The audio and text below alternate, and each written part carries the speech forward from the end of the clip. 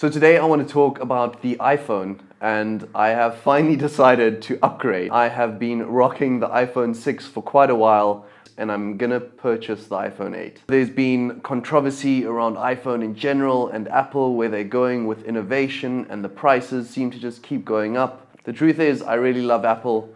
Steve Jobs and Apple and all the amazing people that work for Apple, they have created these tools that some of us use on a daily basis and they're beautiful products and they work really well. I'm really looking forward to the upgrade because I've been experiencing some serious challenges with my iPhone 6 in terms of the battery being depleted and the operating system being slowed down and the phone just keeps resetting. The battery is about 95% and the phone crashes and I boot it up again and it will only boot up if I connect it to power.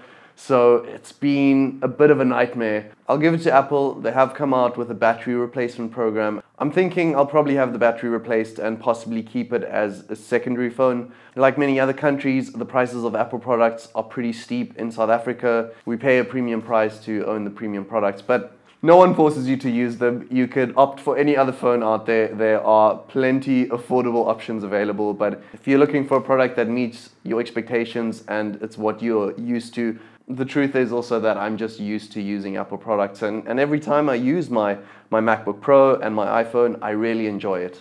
So that's my mission for today. It's Saturday. I'm gonna head out and try and find a iPhone 8 64 gigabyte space gray model and then also to get a flexible transparent cover as well as a anti-glare screen protector because that's sort of my preferred setup. And I might, I might also get a wireless charger because I'm thinking that might be very convenient. There, there are certainly some features in the new iPhones that I have been looking forward to coming from the iPhone 6. I know it's probably nothing new because all around the world people have been rocking the iPhone 10 and the iPhone 8 and, and all the latest iPhones.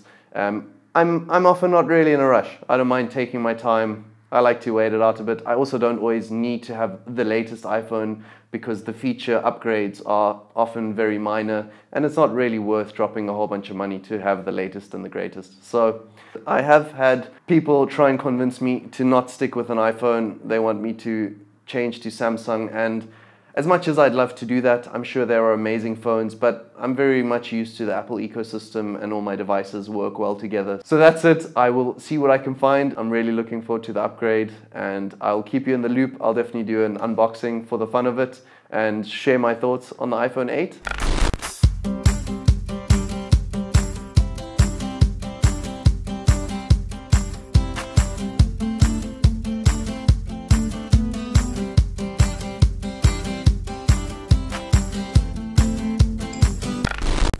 So I'm back in my apartment.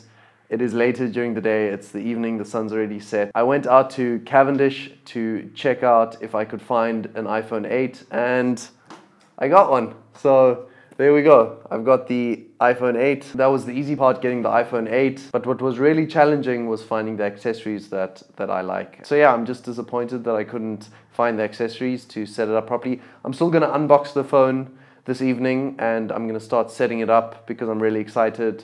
I tried to also buy a wireless charger and I need to do a little bit more research. I wasn't just gonna buy the first one that I could find. Um, it's obviously something I've never purchased before, so I don't know what I'm looking for. Super stoked that I could get myself the new phone and yeah, time to unbox it.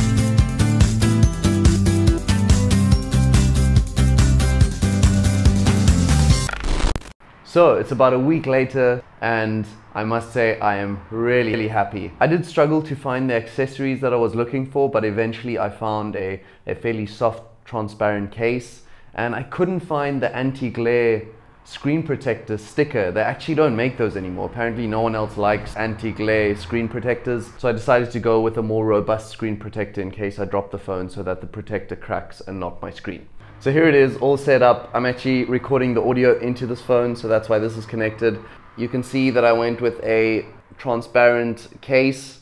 I also really like the screen protector. I managed to install it fairly well and it fits really well. So my first thoughts coming from an iPhone 6 with a depleted battery that was really struggling is, oh my gosh, it has really been awesome. I've installed my favorite apps, they all work really well. The other thing was that on my old, old phone, my fingerprint scanner hardly ever worked and it was getting so frustrating. And with this new phone, it pretty much works every time. And I'm also really glad that I went for the iPhone 8 and not the 10 because the fingerprint ID seems to work really well. It is super fast. And as awesome as the Face ID is, I'm sure I'm just glad I don't have it because I really like the fingerprint ID. So that's it to wrap up this video. I haven't done extensive testing. I've tried the camera. I haven't done any wireless charging but I'll definitely keep you updated. I'll be making more videos documenting my experience with the iPhone 8. I'm also looking forward to recording videos like this on the iPhone 8 because the front facing camera is obviously 1080 HD. It is not 4K. The rear camera is 4K and it can also shoot ultra slow motion, so I'll definitely be testing that. All in all, I'm really happy. I'm so glad I upgraded. And if you are coming from an older iPhone and you're considering the iPhone 8 and the iPhone 10, you're not going to make a mistake, I must say, with iPhone 8. It's definitely more of the same. It's what you're used to, but it works really well. Everything is really impressive. And again, I'm, I'm so glad I got it and I'm really enjoying it. So thanks for watching. If you enjoyed this video, do give me a thumbs up. If you want to see future videos, make sure to subscribe. If you have any questions about the iPhone 8 or iPhone in general, do leave them in the comments below. Wishing you an awesome day. I'm Sean Twomey and I'll chat to you soon. Cheers.